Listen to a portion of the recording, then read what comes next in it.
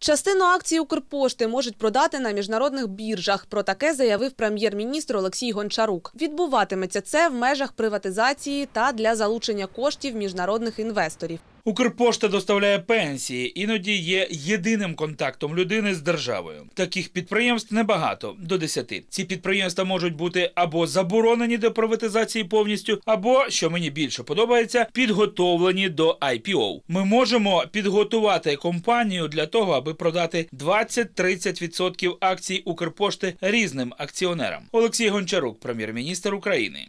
За його словами, така модель можлива, але про повний продаж Укрпошти наразі мова не йде. Прем'єр зазначив, що залучення інвестицій до Укрпошти надасть компанії поштовх до розвитку. У разі продажу невеликого пакета акцій Укрпошти держава збереже над підприємством повний контроль, що дозволить зберегти соціальні функції компанії. Олексій Гончарук, прем'єр-міністр України. Нагадаємо, кабінет міністрів доручив Укрзалізниці, Укрпошті і НАК «Нафтогаз України знайти і продати або здати в оренду надлишкове майно, яке міститься на балансах підприємств або їх дочок.